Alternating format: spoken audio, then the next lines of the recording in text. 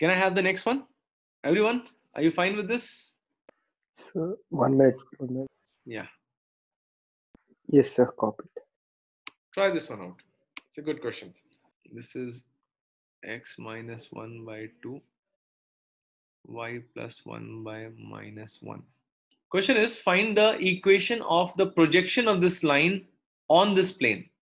Hope you know the meaning of projection now. Projection doesn't mean the image. It means that what is the shadow of this line on the plane? Is the question clear to everyone? Yes, sir. Yes, sir.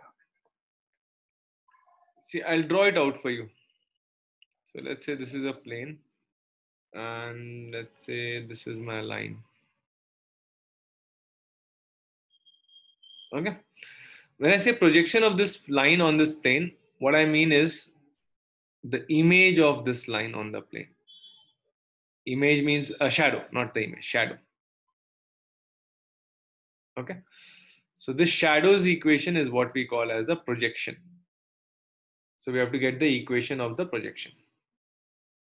Now this problem actually can be solved once we are able to find out the image of a point and projection of a point on a plane. So let me take that opportunity first to discuss that with you and then we'll come back to this question. Okay. So let me just take a scenario where I have been given the equation of a plane. Let's say ax plus by plus cz plus d equal to 0 and there is a point x1 y1 z1 okay and i want to find out what is the foot of the perpendicular or you can say what is the projection of this point let's say i call it as p and m so what is the projection of this point that is m on the plane okay so i'll categorize this as question of image slash projection of a point projection of a point on a plane. And I will also talk about the perpendicular distance. Now, how do I deal with such situations? Anybody who can tell me how do I get the point P and how do I get the length PM? So let me just ask you a few questions. I want M, I want PM, okay? And I also want the image of P, let's say Q. Q, which is actually the image of P, treating this uh, plane as a mirror. Any idea how to deal with this? Any suggestion? Sir, Sir, M PM lies, is the हाँ हाँ बोलो एक एक एक करके बोलो once. tell the para. Sorry sorry sorry I didn't hear you. I was gonna say M lies on the uh, normal vector of the plane and also satisfies the uh, equation of the plane. But vector is not a fixed thing, right, Paras? Normal can be here also, no? Yeah, Not- but then it also should. s- Normal Yeah. can be here also. Normal can be here also. Normal can be here also. What is the meaning of a point lying on a vector? Should be on the line PM only.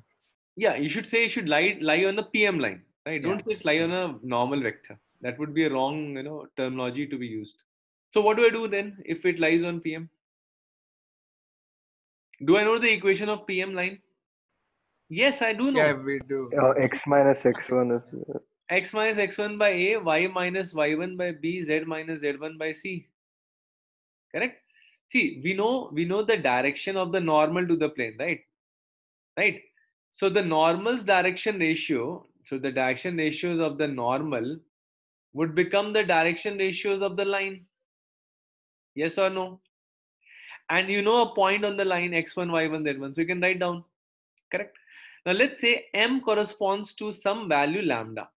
So every point, as you know, on this line has a different different lambda. So this point has a different lambda. This point has a different lambda. This point has a different lambda. This point has a different lambda. This point has a different lambda. So even m has some different lambda. Let's say value is lambda here. So can I express the coordinates of m in terms of lambda like this? Correct. So let's say this is the coordinates of m.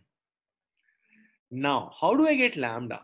I get lambda by using this fact that this will satisfy the plane equation pi. Am I right? Yes. M lies on the plane. So it will satisfy the plane equation also.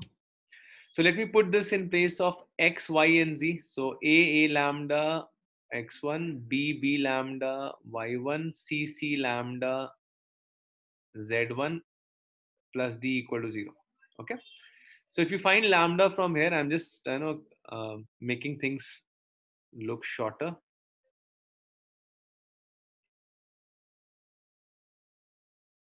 this is the value of lambda. Am i right? Am i correct? Now place this lambda in these points. You will get the coordinates of m. Are you getting it? Yes, sir. okay. I'm not going to put that because you know how to do it. Probably i, I will try to uh, uh, you know use that in the problem uh, which i have already cited before this uh, concept. How do i get pm pm is nothing but it's the distance between x1 y1 z1 and m point correct? So it's the distance between p that is x1 y1 z1 and this m point okay? Now what i will do is i will not substitute lambda first. I will simplify it and then put the lambda at the end. So the distance formula is given by under root of okay? X minus x1 so what is x minus x1 can i say it's a lambda? Y minus y1 can i say it's b lambda? And z minus z1 can i say it's c lambda? Whole square under root. Clear? So i'm finding the distance between this point and x1 y1 z1 so i'm taking the difference right? So this is your x and this is your x1 so x minus x1 whole square y minus y1 whole square z minus z1 whole square. So if you see this it will give you mod lambda under root of a square plus b square plus c square correct? Now put it back over here. Put this lambda back over here. So when you do that, you get the perpendicular distance as mod ax1 by1 cz1. I'm just removing the negative sign because it has been modded by under root of, sorry, by a square plus b square plus c square into under root of a square plus b square plus c square. Okay. Just cancel this and there would be an under root over here. So the PM distance is going to be mod AX1 by1 cz1 plus d by under root of a square plus b square plus c square. This formula, doesn't this formula resemble the distance of a point from a line in 2D? Correct? Just try to recall in 2D, how does the formula look like? AX1 by Ax1 plus 1 plus CZ1 yeah. by mod A Yeah, the same formula. See, again, another resemblance with the line in 2D. All you have is just an extra term CD, uh, CZ1 like that. Okay. So if you remember this, if you remember your 2D very well, you don't have to mug up this formula separately. Getting my point? Yes, sir. Now, how do I find Q? Very simple. You have already found out M. You can find the value of Q by using the fact that M is the midpoint of P and Q. P and Q. Getting my point? By the way, I'm going to give you a simple formula to get M and Q also very fast. Okay. You don't have to follow this approach every time. You can bypass this approach. I'll give you a formula to get M coordinate and Q coordinate. By the way, this process itself is clear. See, don't over rely on formula because you may forget the formula also. But this approach you will never forget. Guys, clear? Yes, sir. Yeah. So I'll come back again to the problem. I know there's a problem pending on us. So, but before that, I'll just give you a formula for formula for finding the projection of a point and image of a point on a given plane. Okay. So let's say there's a plane here and there's a point P, x1, y1, z1. The projection of this point on this plane, let me write down the equation of a plane, ax plus by plus cz plus d equal to 0. This projection is x2, y2, z2. Okay. And the image here, let's say q, is x3, y3, z3. Okay. Now the formula for projection is this. So let's say x2, y2, z2 are the coordinates. So you write x2 minus x1 by a, y2 minus y1 by b, z2 minus z1 by c is equal to negative ax1 by1 cz1 plus d by a square plus b square plus c square. This is the formula. From here you can get your x2, y2, z2 because other things are already known. x1, y1, z1 will be given to you. a, b, c, d, etc. would be known to you. Please do not use this in school.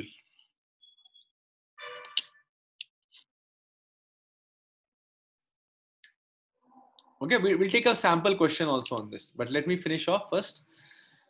Coordinates of image will be following this formula x3 minus x1 by a, y3 minus y1 by b, z3 minus z1 by c is equal to, the only difference is we have a minus 2, we have just 2 coming up in between here.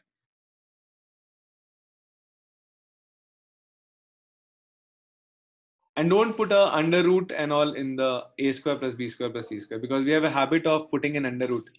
You know that habit has come because of finding the magnitude because of finding the distance formula. So here be careful. Don't put an under root. So please make a note of it. Not to be used in school. Please note that. You will get a zero if you use this in school. So if a formula is not in ncert you cannot use it Done. Noted. Done. Okay. So let's take a question on this. Let me add one more thing. Find the length of the perpendicular, foot of the perpendicular, and also the image of this point in the plane.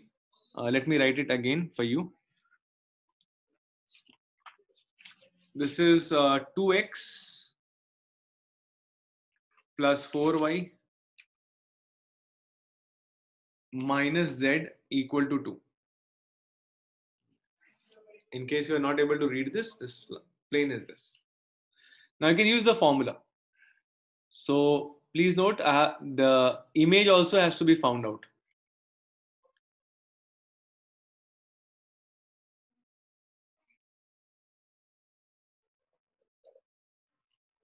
So this is 2x plus 4y minus z equal to 2 and there is a point 7,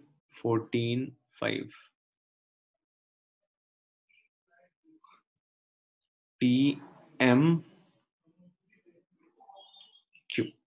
So you have to give M number one, number two PM, number three Q.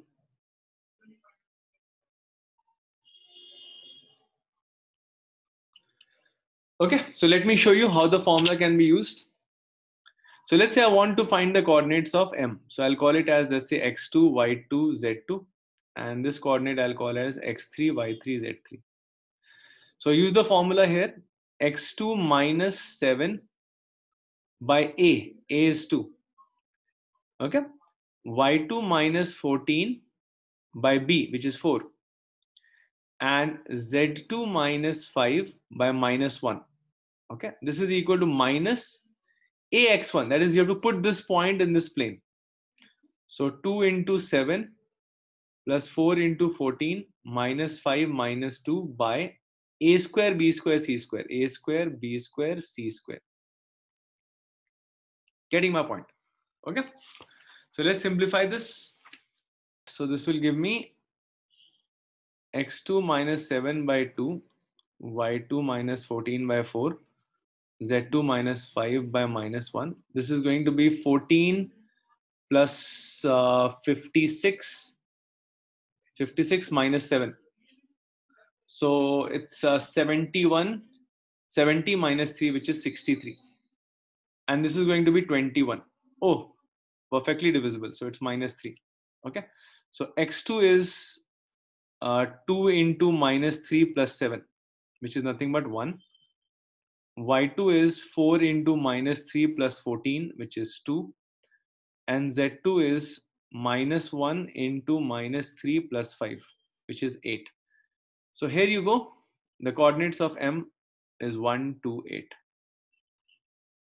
Clear how it works? So this formula is useful in competitive exams. You can save a lot of time.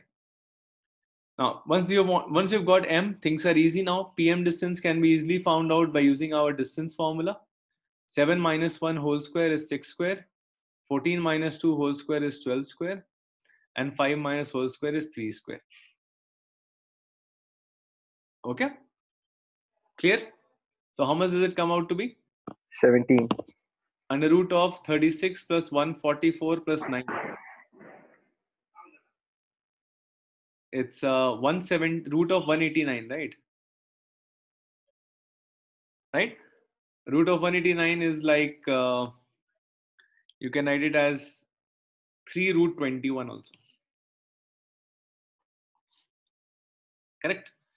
If you use the formula directly, you can get the same thing. What was the formula? Formula was perpendicular distance is mod ax1 by1 cz1 plus d by under root of a square plus b square plus c square correct so put this point 7 4 and 15 over here so you'll end up getting this same term over here so i'm not repeating it. So you end up getting uh, mod 63 by under root of 21 so mod 63 is 63 root 21 correct?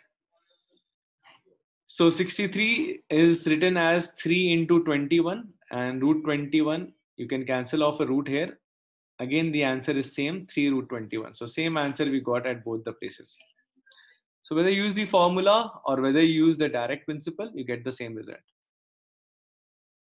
Clear? Clear, clear.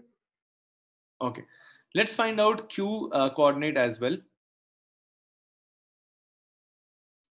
So for q coordinate i will use the formula x3 minus x1 by a y3 minus y1 by b z3 minus z1 by c is equal to minus 2 ax1 by1 cz1 plus d by don't put an under root over here okay? So x3 minus the point was 7 i guess. A was 2 this was uh, y3 minus 14 the point uh, the b was 4 here z3 minus 5 minus 1 and by the way this result was already known 2 into uh, 63 by 21 so that's minus 6 correct? Oh i'm sorry. Okay. So from here I can get x3 as minus 12 plus 5, which is minus 5. Y3 as minus 24 plus 14, which is minus 10. And z3 as 6 plus 5, 11. So this will become your image.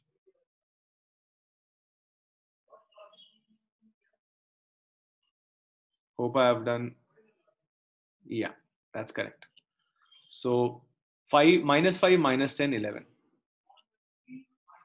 minus 5 minus 10 11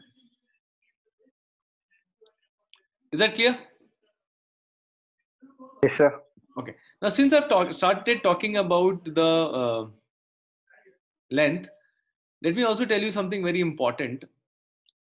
That is the distance of or distance between between parallel planes.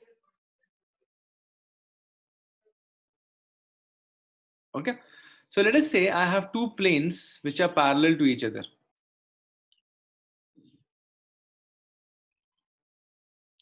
pi 1 plane and pi 2 plane remember when the planes are parallel they only differ in their constant term just like a line does okay so let's say it is ax plus by plus cz plus d1 equal to 0 other will be ax plus by plus cz plus d2 equal to 0 The only difference would be in their constant terms. Okay. In vector form, if you write, it will be r dot n plus d1 equal to 0 and the other will be r dot n plus d2 equal to 0. So their uh, perpendiculars normals will either be the same or proportional. So you can always make them same by dividing or multiplying with the proportionality constant. Now, if I want the perpendicular distance between these two planes, let me call it as P, how would I find it? Very simple. I will choose a point on this plane. Okay, so on the first plane, I will choose a point. How will I choose a point? There also, I will, you know, take a shortcut. I'll put X and Y both as zero. So Z will automatically become minus D1 by C. Okay. And I would think that as if I'm trying to find the distance between this point, let me call this point as A, from this plane pi 2. Okay. So let's find out the distance between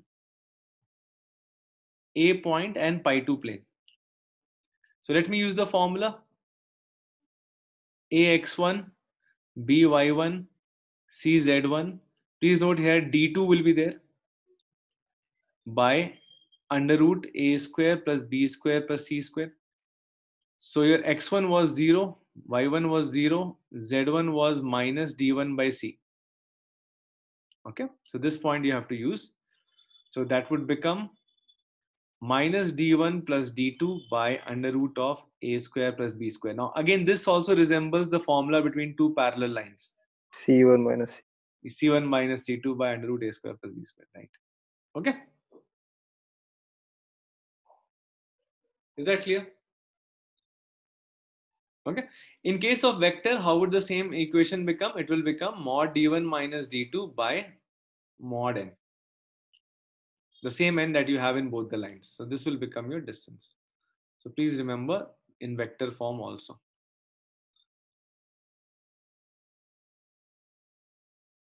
Clear?